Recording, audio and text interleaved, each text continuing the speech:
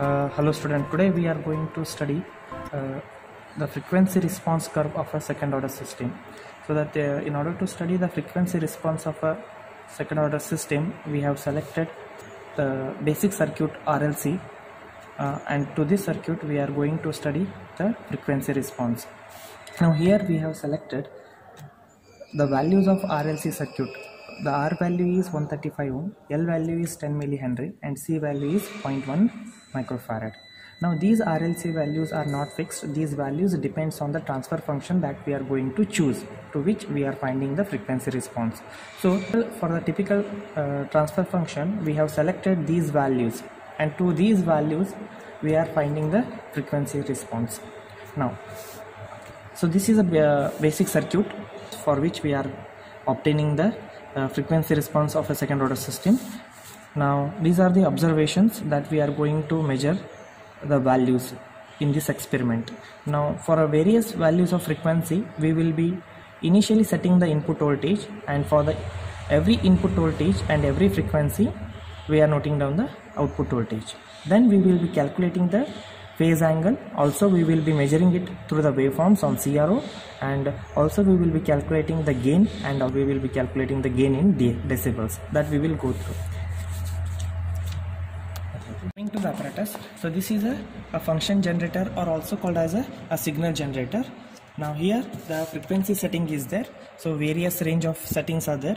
Uh, starting from 10 hertz to 100 hertz 1k 10k 100k and 1 megahertz so these are the settings. By choosing the pr- proper uh, button we can select the any frequency range. Now here this is a knob uh, which is used to vary the frequency. uh, you can observe here on the display uh, the frequency is being as we rotate the frequency goes on varying. Now this is coming to this is a function uh, sine wave and square wave.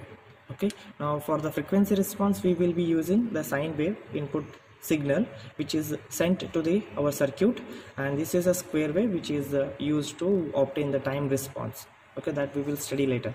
Now this is uh, the magnitude knob. Okay by varying this we can set the input voltage magnitude from various range from 0 volt to 30 volt. Now this is attenuation. Uh, we can set the attenuation to 0 dB or 20 dB or 40 dB.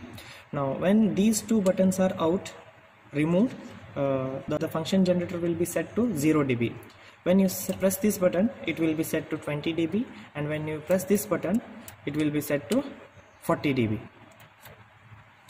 Now coming to here we are using uh, for RLC values we are using the DRBs DCB and DIB now this is a DRB through which we can set any value of resistance. This is a DCB uh, we can set the capacitance value and this is a DIB we can set any inductance value. Now these we'll be observing the waveforms on CRO so here we have connected the input. This is the input terminal and this we have selected as a output terminal. And this is the time varying knob.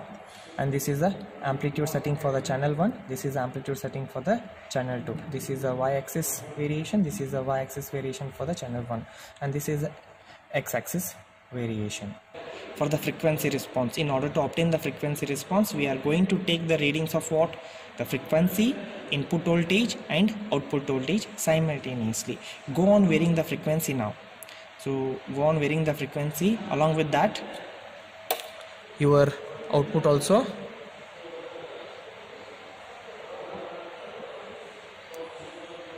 so so as you go on increasing the frequency your magnitude also and magnitude of input and output voltage both are varying. So for all the frequency values ranging from 100 hertz to 100 kilohertz you can take the various set of the readings and you can draw the frequency response. Now for the frequency response we are going to take the readings of as mentioned your output voltage input voltage for a various frequency and calculate the phase angle that also you can calculate as we have told and then calculate the gain and gain in decibels. So once we get the observation table, you will be able to obtain the frequency response by drawing it on a semi-log sheet. So we are we are going to take the frequency as along the x-axis, along y-axis we are going to take the magnitude, and similarly here phase waveform, frequency along x-axis and phase angle along the y-axis.